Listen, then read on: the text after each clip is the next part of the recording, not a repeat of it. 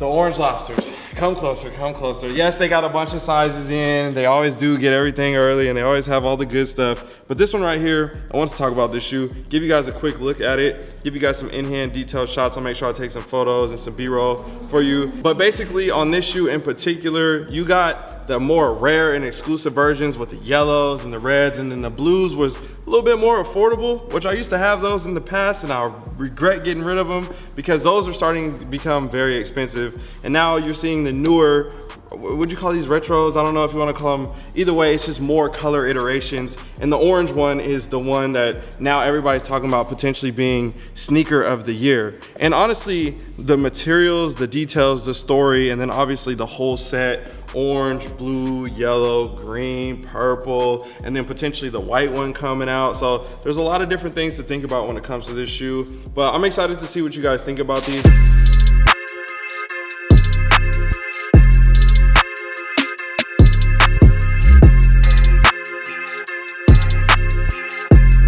On the bottom right here, classic SB Dunk bottom right here, all orange. On the midsole, all black with the orange stitch right here. And then onto the upper, you got the two different sets of materials, kind of that lobster print right here. And then more of a smooth suede with no print right here on the midfoot. And then on the toe box right here on the top end. You got a, I don't know if this is 3M, no, it's just a white leather behind the swoosh right here. And then this has like a different type of print. I'll try to get some detailed shots for you guys as well. But it's not just like a flat orange leather. There's a little bit of detail to it. Kind of got like a smoky kind of vibe to it. And then on the upper right here on the tongue, all white tongue, you got the orange Nike SB logo. These come standard with white laces to go with the tongue. But I think in the other shoe, oh yeah, the black band that goes around the toe, similar to the lobster claws as you see. So some people wear it with it on, some people don't. It kind of messes up the shoe if you do wear it with it on. And I know there were some extra laces as well. I saw them in the other shoe earlier.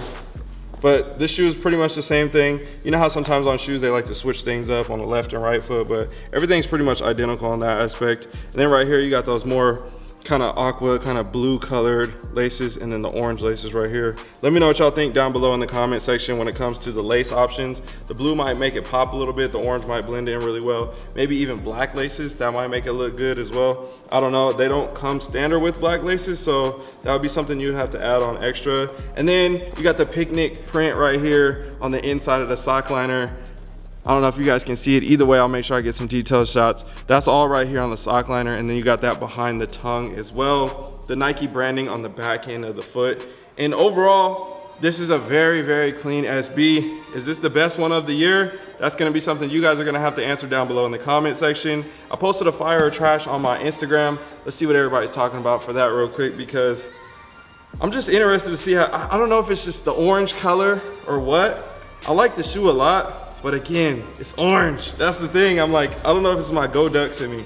So when I asked people if this shoe is fire or trash, we got 84% of the people said fire and 16% of the people said trash. So overall, it looks like a lot of people like this. Now I need to put these next to the AMA 4s and the Black Phantom Travis Scott 1s and the Lost and Found Jordan 1s, different things like that to see what they think those compare to when it comes to those releases as the sneaker of the year. And some people are saying fire red threes and uh, the concepts Air Maxes, like a lot of people slept on those.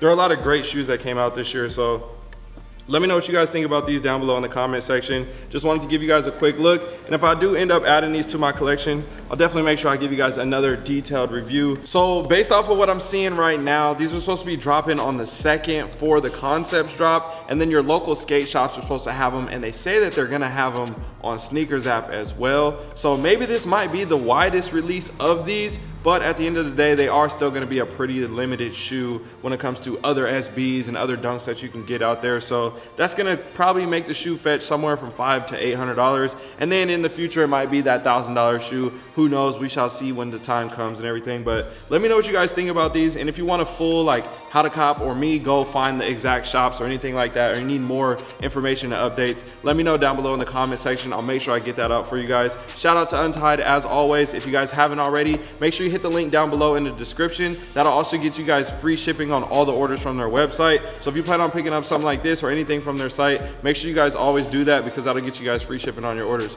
I'll see you guys another one. I'm out.